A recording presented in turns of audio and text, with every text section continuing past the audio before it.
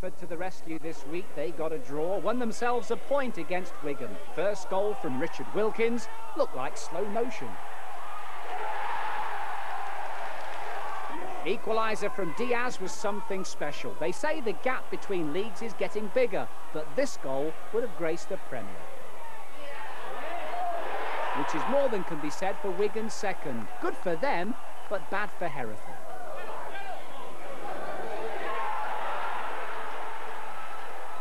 There were just four minutes to go when United saved themselves. The hero, Steve White, back from injury with a real belter.